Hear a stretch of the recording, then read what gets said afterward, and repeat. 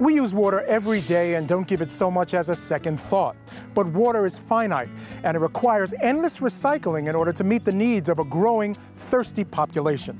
So today, we're going to take you behind the scenes of a wastewater plant in Howard County, Maryland, and show you how water goes from its source, like this reservoir on the Patuxent River, to your sink and back again.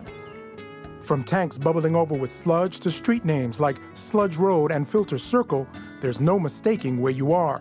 Located on a sprawling 40 acre site, the Howard County Wastewater Treatment Plant is responsible for cleaning and disinfecting over 18 million gallons of wastewater a day. A plant this big and a process this important takes a lot of people to get to churn. However, who's running the ship?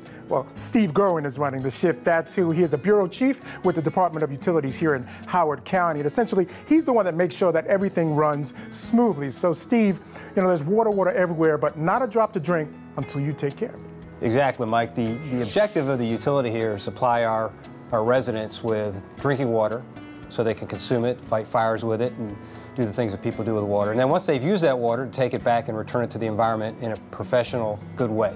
The plant is nothing more than a man-made river, engineered down from thousands of miles to just a few. The entire process is monitored by the computers in this room. And while the plant sits on a local river, its water doesn't come from nature. Wastewater or influent flows down from the county through a series of underground pipes and filters and is then pumped on to its first stop, large concrete vats. Here, simple gravity takes over Waste and other heavy objects naturally settle on the bottom, like you see in these canisters. Water is cleared off the top and pushed on to the next phase, where bacteria is actually added to the water to get rid of the dangers we can't see. We get the right kind of bacteria that will consume the products in the water that we want to remove. And once those bacteria consume those products, they settle to the bottom. And again, the cleaner water decants off the top and the water is yet even cleaner. How clean is determined in the plant's lab. Here, samples from every step in the process are tested to ensure tough state and federal standards are being met. We test it um, vigorously for pH, DO, nutrients, bacteria. So we, it, we do a lot of testing on it before it is actually discharged, and it's high quality, close to drinking water quality. Sonia Williams is the plant's lab supervisor. She says the lab is the last line of defense against environmental hazards. If uh, sterilization hasn't taken place appropriately, um, we will have bacteria that gets put out into the receiving waters.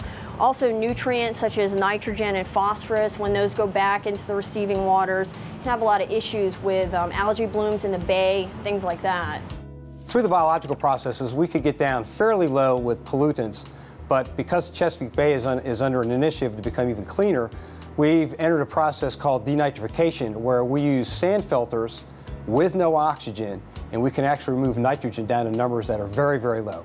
So as far as the water that's leaving the plant, how would you compare that to this bottled water that everyone drinks? The water produced by a municipal water supplier is safer and meets higher quality standards than bottled water. Bottled water is regulated by FDA. The standards aren't as high.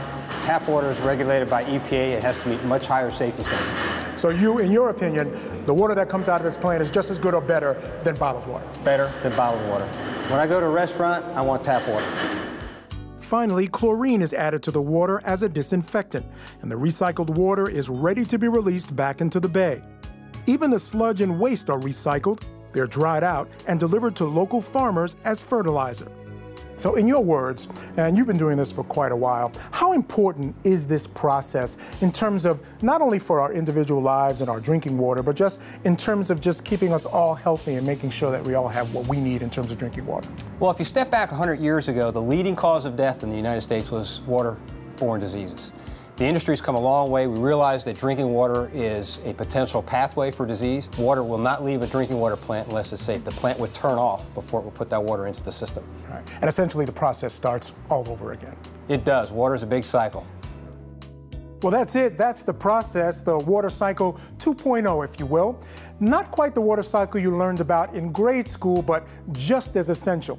Because it's places like this that allow you to have your water and drink it too.